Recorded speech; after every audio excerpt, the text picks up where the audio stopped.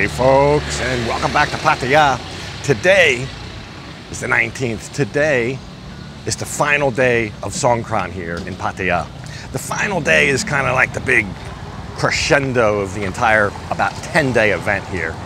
And I'm out on the dark side at what I will call our secret operating base. You see, yesterday I dropped my truck off here and my friend Angie of Angie's Taxi, if you follow the channel, you might know, I use her from time to time if I'm going to the airport.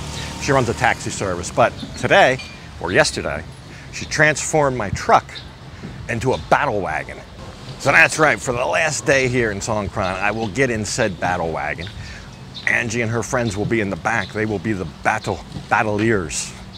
they will be the combatants. Morning. She's making the final preparations right now. But we'll go around Pattaya for this big grand finale of Songkran here. The last day is the day. If you want to come here for the for the frivolity of Songkran, I really recommend the last day. The the first days, okay, there's fun to be had as well, but the last day is the thing. There'll be a big thing on Beach Road. Beach Road will be closed at some point. It usually is. We'll see. I have no idea this year, but I do know one thing, and that is I'll be piloting the battle wagon, and the ladies in the back will be dousing all of the punters as they see them. Angie's made special t-shirts for the occasion. I'll show you what they look like. But I foresee a potential problem. You see, they're white. White t-shirts and water don't mix. Well, maybe they do mix. We'll see. Ah, the Iceman cometh. Oh, that's right. We'll need ice, a good dose of ice to keep the beverages cold, and the, the water that we'll be throwing. We'll get all assembled here. The uh, ice and water will prove to be an issue later, but as we prepare the battle wagon, we'll get the army together here. Here they are. Now, uh, the truck's kind of small, and the, the water drums take up room, so there's not going to be room for everybody, but we'll squeeze in as many as we can. I think we're ready to go. That's the army get all loaded up. Also, that water's heavy. I didn't want to overload the truck with two drums and all the people, but we'll get shoved off here. Let me see your war face. All right, we're ready to set off in our path of carnage. This is my driver, Mr. Van. Sawadee kap. I can't drive, film, flow, what? I can't do the whole thing. So we got a lot of help. I thought while all this carnage is going on, we'd enjoy a little snack here I stopped and got these. Come in a lot of different flavors at the 7-Eleven, but I always find myself reaching for the orange, the orange flavor. So delightfully, just a sweet, a subtle sweetness of the orange flavor tucked in between all these little layers of wafers there. Hmm. For a great little snack. Vanilla. Wash it down with some refreshing sponsor. This is the lime flavor. They also have the, the yellow, the original flavor. Kind of partial to this. The Thai say it. Sapansa. I need a leg up. Sapansa. See, I told you. Sapansa. Lovely. Also keeps you keeps you hydrated. Oh. Yeah, that hits the spot. So, having made it into town and after a little refreshing snack, it's time for me to join the ladies back here in the battle wagon hit the town. We'll, we'll start maybe with Soi Buakhao.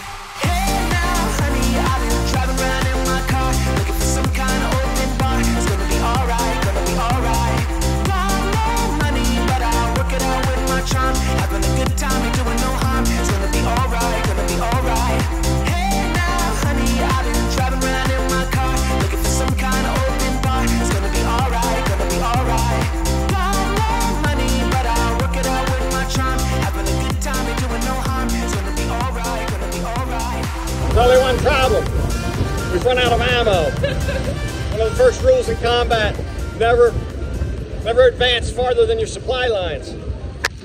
And we, we may have done that. We may have just done that.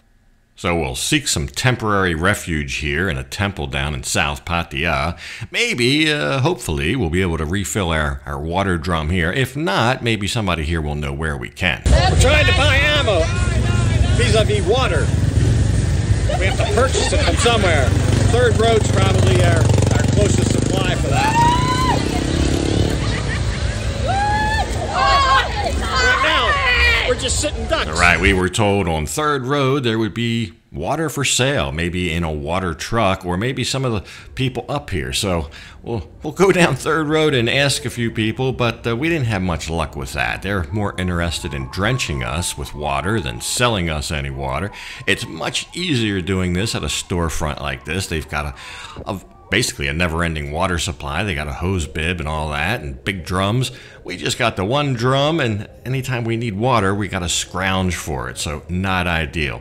But we did we did manage up on Third Road to finally find a water truck. We actually had to chase one down, and there it is. And my my wet microphone didn't come through. Some people ask what I used to film this, uh, like the last one at Bang Saen. Just my iPhone, so I use my iPhone. It's water resistant, but uh, that's a nice face shot there. So we'll get all loaded up. There we go. Fresh water, fresh ice. We're all good to go. We're ready to hit Third Road and give some payback.